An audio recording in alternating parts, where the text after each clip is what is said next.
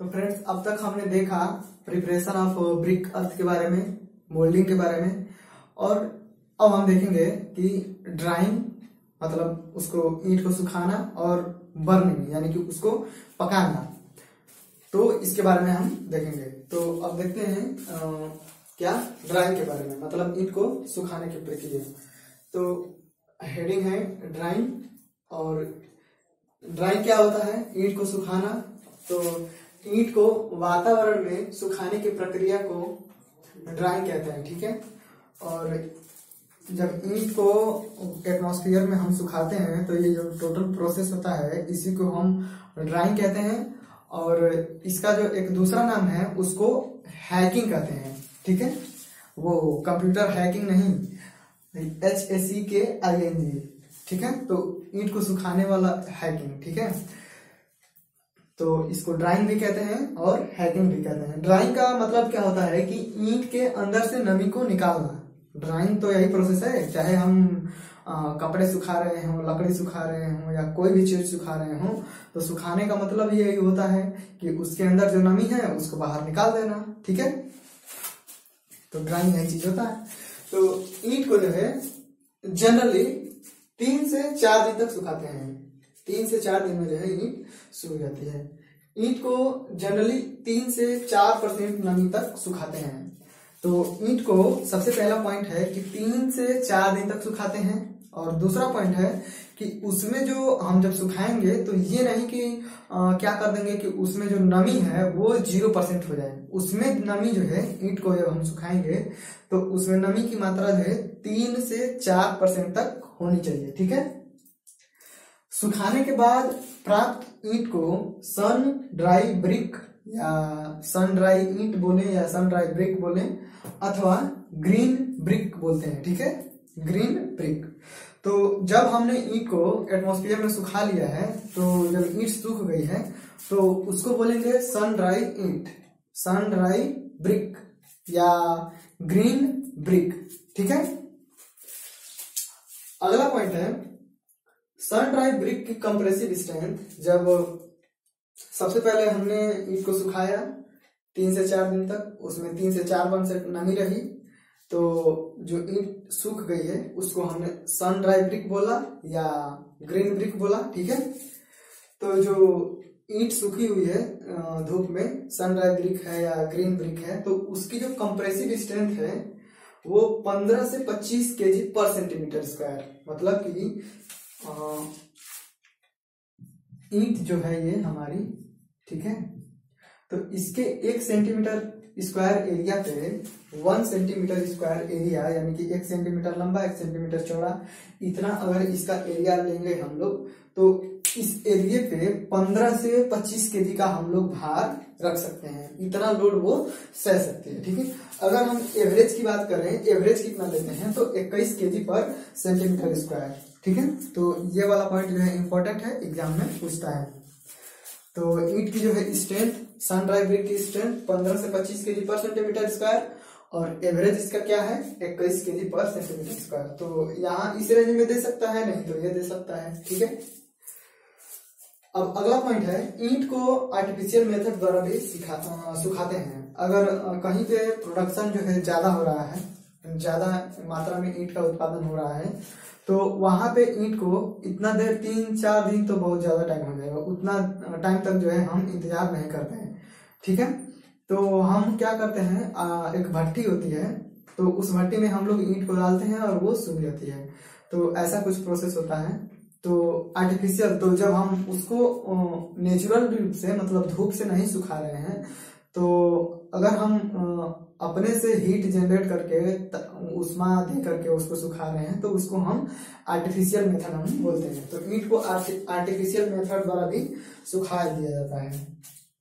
Artificial method में steam और hot gas का यूज़ करते हैं, जिसका जो टेम्परेचर है, वो 120 डिग्री से अधिक नहीं होना चाहिए। तो आर्टिफिशियल जो मेथड है, जब हम आर्टिफिशियल मेथड में ईस्ट को सुखाते हैं तो उसमें हम क्या करते हैं स्टीम स्टीम का मतलब है कि भाप या हॉट गैसेज का यूज़ करते हैं, जैसे कि कार्बन डाइऑक्साइड हो गई और भी सारी बहुत सारी मतलब गर्म गैसें होती हैं तो हम लोग उनका जो है प्रवाह करते हैं। ज़्यादातर तो कार्बन डाइऑक्साइड ही होता है, ठीक है? तो इन गर्म गैसों के द्वारा भी आ, हम आर्टिफिशियल मेथड में ईट को सुखा लेते हैं। तो ये हो गया जो है ड्राइंग का प्रोसेस ड्राइंग में ये सारे पॉइंट है जो एग्ज़ाम की दृष्टि से इम्पोर्टेंट है। ठीक? अब हम देखते हैं बर्निंग देखिए ईंट को जब हम भट्टे में डाल रख के और जब हम उसको पकाते हैं ना जब ईंट को पकाते हैं तो वही पकाने की प्रक्रिया को क्या बोलते हैं? बर्निंग बोलते हैं, ठीक है? मतलब उसको पकाना। बर्निंग का, बर्न का मतलब होता है जलाना। ईट को जलाए, ठीक है? तो हम उसको पकाते हैं तो उसको क्या बोलते हैं? बर्निंग, ये टेक्निकल टर्म है, ठीक है? बर्निंग, ठीक है? तो उन ईंट को निम्नलिखित तापक्रम के अनुसार अलग अलग जोन में पकाते हैं। देखिए तो जब हम ईंट को भट्टे में रख देते हैं, कच्ची ईट सन ड्राई ब्रिक को जब हम भट्टे में सजाते हैं, रख देते हैं उसको चट्टा लगा करके पकने के लिए, ठीक है? तो वो कई स्टेज में जो है पकता है। एक ही बार नहीं कि उसमें आग डाल दिए और वो पकना शुरू हो गया। नहीं, वो वो उसका जो है तीन चार चरण होते हैं, उसके अनुसार जो है ईट प्रोसेस होता है, वो पकती है, ठीक है? तो सबसे पहला जो स्टेज आता है वो डिहाइड्रेशन जोन या वाटर स्मोकिंग जोन तो ईट को पकाने के लिए बर्निंग यानी कि जलाने के लिए या पकाने के लिए जो सबसे पहला स्टेज है, वो क्या है?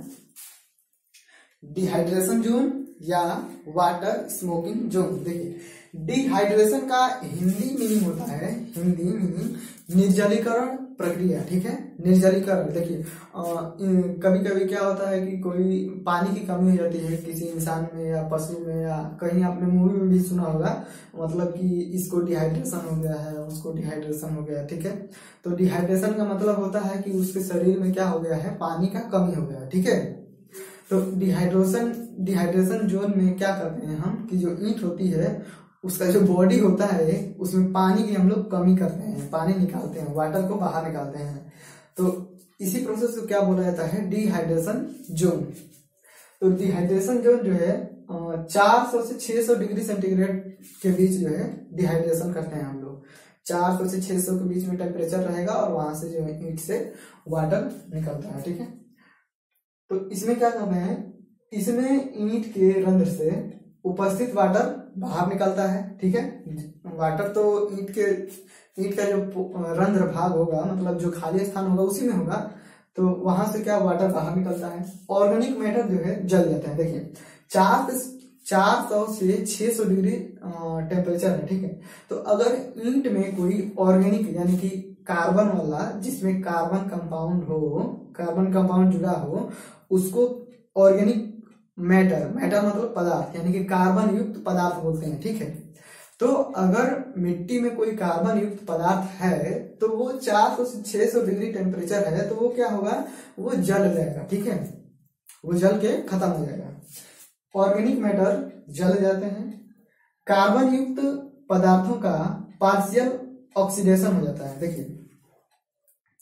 जितने भी सारे उसमें कार्बन युक्त पदार्थ होंगे मतलब कार्बन कंपाउंड कार्बन जो है वो जुड़ा होगा तो उसका क्या होगा? पार्शियल ऑक्सीडेशन हो जाएगा। पार्शियल का मतलब होता है आंशिक रूप से। जैसे कि कोई भी चीज़ है तो पार्शियल का मतलब आधा हुआ आधा नहीं हुआ ठीक है? थोड़ा सा हुआ थोड़ा सा नहीं हुआ। तो आ, क्या होगा? ऑक्सीडेशन हो जाएगा। हो सकता है वो कार्बन डाइऑक्साइड में बदल के बाहर थोड़ा सा निकल जाए थोड़ा सा बचा रहे उसी में ठीक है? तो कार्बन युक्त पदार्थों का क्या हो जाता है? पार्शियल ऑक्सीडेशन हो जाता है। तो बर्निंग में पहला स्टेज था डिहाइड्रेशन जोन डिहाइड्रेशन जोन 400 से 600 डिग्री सेंटीग्रेड की होता है। या इसी को हम वाटर स्मोकिंग जोन भी बोलते हैं, ठीक है? और डिहाइड्रेशन का हिंदी मीनिंग होता है निर्जलीकरण। अब दूसरा स्टेज आ जाता है ऑक्सीडेशन ठीक है? डिहाइड्रेशन जोन के बाद क्या जाता है? ऑक्सीडेशन तो ऑक्सीडेशन जोन में जो है टेम्परेचर होता है, वो 650 डिग्री सेंटीग्रेड से 900 डिग्री सेंटीग्रेड के बीच हम मानते हैं कि क्या है ये ऑक्सीडेशन जोन है। ठीक है? तो इसमें क्या होता है? इसमें बचे कार्बनिक पदार्थों का तथा सल्फ़र का ऑक्सीडेशन हो जाता है। तो डिहाइड्रेशन जोन में जो कार्बनिक पदार्थ थे, उनका पार्शियल ऑक्सीडेशन हुआ था। और जो बच गए थे, उनका ऑक्सीडेशन जोन में आके पूरी कंप्लीट तरीके से ऑक्सीडेशन हो जाता है। और इसी जोन में सल्फ़र जो होता है, उसका भी ऑक्सीडेशन हो जाता है, ठीक है? सल्फ़र का एसओ टू बन जाएगा ऐसे कार्बन का कार्बन डाइऑक्साइड बन जाएगा।